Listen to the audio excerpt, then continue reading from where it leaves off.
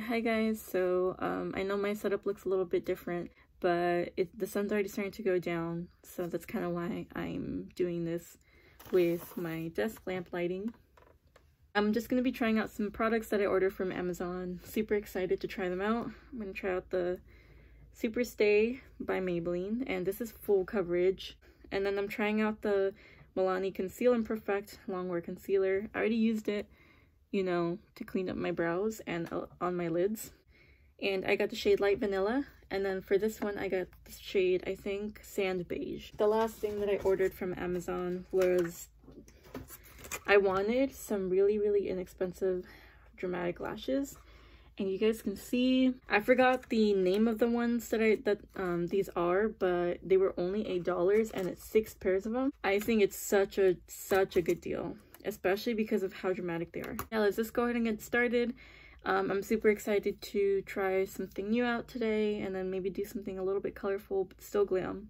The primer that I always use is always the same. I always use the CoverGirl ones and this one's a um, TruBlend Base Business in Moisturizing. I don't recommend the mattifying one, at least if you have dry skin like me, because it's gonna make um, the product cling in certain places, like really, really badly.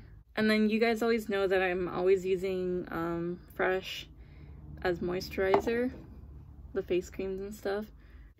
I love these Fresh products. I'm literally almost out. I'm super, super sad. And of course, my Fresh Glow Water. I always use this. and then I usually kind of let that sink in before I start doing anything else. So now we're gonna go into the foundation. This is really, really full coverage. I'm noticing now that even like, I only use one pump. But this is really nice. Wow, look at that.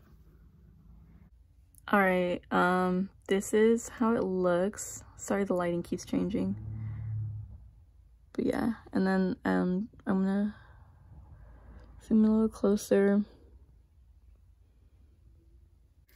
um wow. I really like it. And the next is milani concealer in light vanilla. I wanted to make sure that i i got a lighter one um with a more of a golden undertone since that's what i have. And it does um look to be a good shade for at least highlighting a little bit. I might end up mixing it, but I'm going to apply one, one dip squares underneath and then show you guys how it looks. I let it sit for a little bit. I'm just to be using the same the same blush, the same brush to blend it out. And I'm just to really go in. I may have used a bit too much. Alright. So you guys can see, it literally just blended right into that foundation. As far as acne goes, I can't really be a good gauge for how well it would cover it because I don't really have anything right now, but it's really good. This is a CoverGirl translucent powder in the shade Banana. Highly, highly recommend everyone that I've done, like all of my friends, when I've done their makeup and I've used this, they always ask me what I use on their face because it actually lasts so long. And it's this powder. I feel like I owe it all to this powder. Anyways, I decided I wanted to watch 100 Days of Summer because honestly, it, it's so weird how the first time that I watched it, to be fair, I was young and I didn't really fully watch the whole thing. Um, but I remember that I was so upset for what is the main character's name? Tom? I forgot. But I felt so bad for him until I realized that he was kind of he kind of set himself up to have these, you know, expectations for her.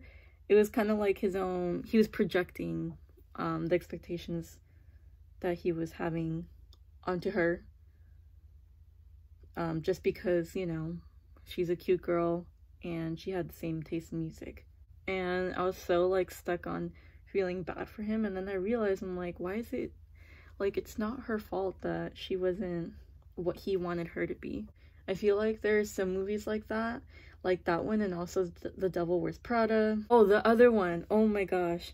The other one that upset me so much was um, He's Just Not That Into You. Um, pretty much the whole gist of it is different relationships happening, but um, and different like scenarios happening and there was this one that frustrated me so much. I think it was bradley cooper who played him. You know he has his wife at home and he keeps like what's the word what's the word called? Gaslighting her. So he keeps putting her in situations where she's questioning um where he's been at and he just like kind of gaslights her um and she feels she ends up feeling bad she ends up being the one to feel bad. But he's the one who's actually cheating and all of that. And then on top of that he had been um smoking which was a little bit of like a I feel like it, it represents the small annoyances that you have with your partner that you know may not be as big of a deal but they kind of are if you're lying about it. And so he was also lying about not smoking and so her paranoia grew more and more. I remember watching it when I was little. I was just like, why is, you know, like she's such a, mm, you know, like I kept thinking so badly about her, but I'm like, she's the one who's being gaslit. Of course she's gonna act the way that she does. Because she thinks, you know, like she's kind of like, he's making her in a way go crazy. Yeah, the whole point was um, when I was younger, I don't know, was it internalized misogyny? I don't know. But I used to think that she was such a bad, um, mean and stuff, and why was she like that? And I'm like, the whole, it's like, it's there, like, it's in front of your eyes. What can you not see? So yeah, I get so frustrated watching that movie and then thinking about myself and how I used to feel about her. Like, Queen, I am so sorry, you know? Now I'm going in with some blush, going with Pink Passion by ABH and I actually started doing this before I do my highlight and then after my bronzer just because I don't know I feel like it blended in um, a lot nicer for me actually. And for highlight I'm just gonna go in the face I made right now um to I'm gonna go into this highlight and this highlight mixed together. Alright, I can't tell if I'm okay with this lighting or not or if it was better in the dark, but I can see me, me, me eyeballs. I can see me eyeball. I can see my, my face a lot better in this lighting, so I'm gonna try it out, and hopefully it doesn't look bad. I'm just going in with the ABH primer on my eyeballs. I think I'm gonna start off with this dark green shade right here. It's called Hope, and this is from the Best Life 2 palette. Since today I'm feeling green, I think I'm gonna take that dark green and pat it right here. And this brush is just a brush that comes in the little ABH palettes. I actually really like the brushes in them. They're really good for packing on color. With the same brush, I'm just going to go into that neon green color. And I think I'm just going to go in. And I might add a little bit yellow just to like get a really nice lime green on the edges. I'm gonna grab more of that dark green with the fluffy end of the brush and I'm slowly starting to blend it and increase the amount of dark green that's on my crease slowly but surely. Back into that lime green um, I'm gonna start continuing to blend out the edges and then you'll see I'm like slowly just kind of bringing it up. Further and further up. I want to make sure um, that I'm using the lid space that I have you know? I feel like especially when you're first starting off with makeup you tend to keep it you know, in a smaller area of your eyeball, like the eyeshadow and whatnot, and you got kind of scared to like, you know, really, really take advantage of the space you have. I know obviously that's not true for everyone because not everyone has the same amount of lid space, but at least, you know, for me, I've noticed that. I'm feeling a little bit risky, so I think I'm going to go in just with a black shade. You can use any black you have. I'm literally putting this on right down here. So I want to make sure that this black is not going to overtake the whole thing. I'm going to do this off camera because I feel like it helps me concentrate better. But um, I'm going to cut my crease and I'm going to be using concealer because I'm using neon pigments today. Um, well, just one for my eyelid. So I will be right back after I cut my crease. I finished cutting my crease and I, I'm going to go in with my lid color. I'm going to be using this I think I'm going to mix, um, not mix, but use both of these, both the neon green and the neon um, yellow shade. And this is actually um, a neon pigment stack from Lunautic.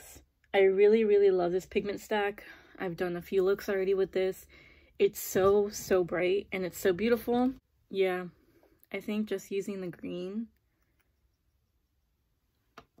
is going to look super nice. Slowly add it so that it connects to the dark green and black mixture. Definitely I'm gonna add this. This is a yellow shimmer shade, Gnarly from the Yellow Fusion palette by Profusion. And I feel like it's just really tying everything together to add yellow in the inner corner to highlight and then also to add a little bit on the brow bone as well. And it'll just highlight that yellow that you already placed up here all right so in order to connect um you know like that black in here so that i can have it be a little bit more smoky i'm gonna add a little bit of gel liner. So yeah i'm literally just doing that. And then i'm gonna connect it here.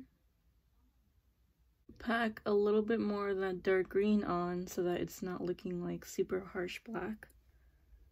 Okay so these lashes would I would wear this when I go out. I would wear this for a festival. Especially for festivals, this is the kind of drama you want. Like you like just go off, you know?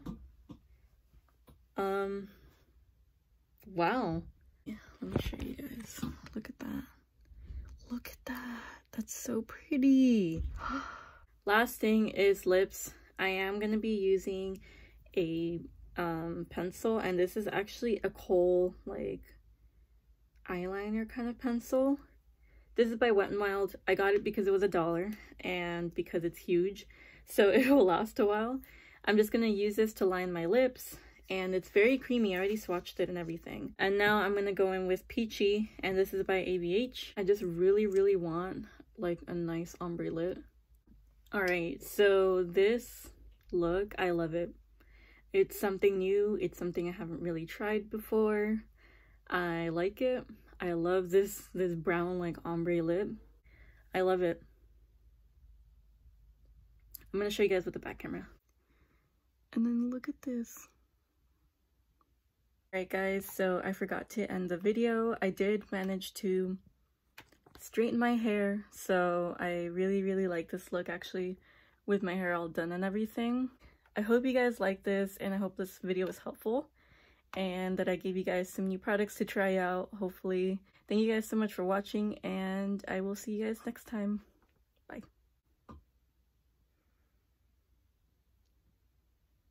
We'll see you guys next time. Hopefully, please watch my videos. Please give me purpose. Please.